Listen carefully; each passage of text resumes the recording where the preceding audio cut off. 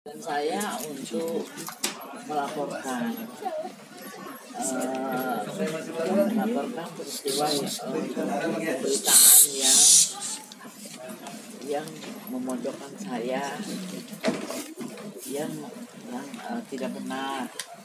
Dan di situ juga akan dibicarakan tentang eh, adakah pelanggaran ju- kode etik jurnalistik dan itu kan sifatnya nanti kalau pemeriksaan tertutup rahasia dan eh, lembarannya lembaran untuk formulir eh, pengaduan pengaduan yang itu sudah diberikan kepada kita sehingga saya harus eh, pulang dan mengisi itu dengan bukti-buktinya gitu.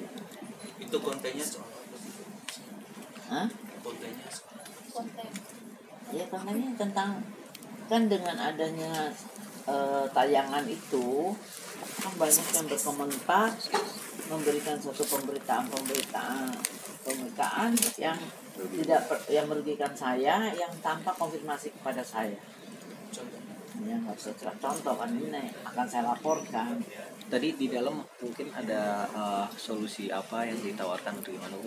nggak ada. Nggak ada. pokoknya Dia saya harus baru- melaporkan dan mereka juga bilang ini presiden yang buruk ya kondisi ini menjadikan presiden buruk bagi bagi dunia jurnalistik tapi dari dari pihak Dewan Pers sendiri setelah melihat eh, tayangannya seperti apa sih tanggapannya? Apa memang sudah melanggar melanggar kode Ya, etik belum eh, mereka nggak mau eh, tayangan itu kan eh, itu adalah kewenangan dari KPI dan kami udah laporkan KPI informasi yang eh, kami dapat eh, akhirnya sudah di di BAP sehingga mereka akan pleno lagi dan memberikan keputusan minggu depan. Dan mungkin kita ada data-data baru juga akan mem- memberikan memperkuat eh, apa fakta yang sebenarnya. Jadi eh, perlindung eh, memang dilihat perlindungan kepada narasumber eh, ya tidak ada. Terus kemudian narasumber dibikin tidak nyaman. Dari penantian saya di tempat yang sangat dingin dipisahkan dari yang dari eh, yang lain. Ah, tidak ada tim kreatif yang memberikan eh, pengarahan. Harus saya bagaimana-mana dan saya tidak diberitahu bahwa saya akan bertemu dengan eh, tersangka. Eh, karena kan eh, saya kan kuasa hukum nggak boleh ketemu dengan prinsipal. Apalagi dia tersangka tiga perkara ya harusnya dia ada lawyer yang mendampingi dia gitu. Berarti kan lawyer dengan lawyer yang bicara bukan lawyer dengan dan eh, itu bukan perdebatan karena dari awal saya cuma dikatakan saya akan bicara hukum.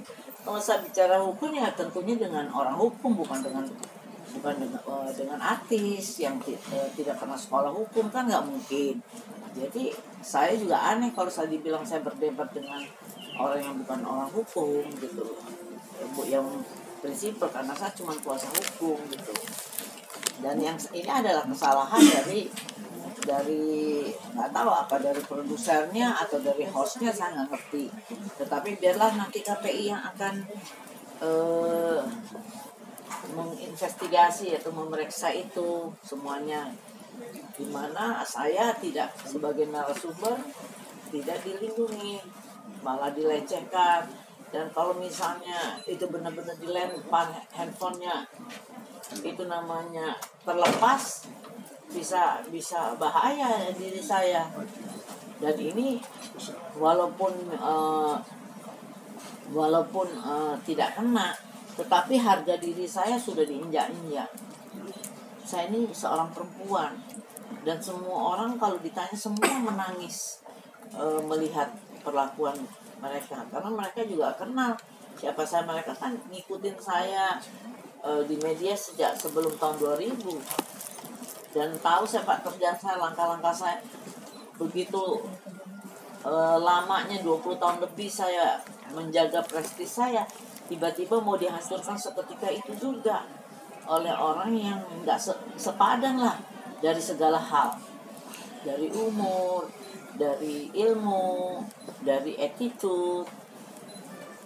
Kenapa saya harus dipertemukan seperti ini dan tidak diberitahu? Kalau ada saya tahu kan saya pasti pasti mundur saya nggak mau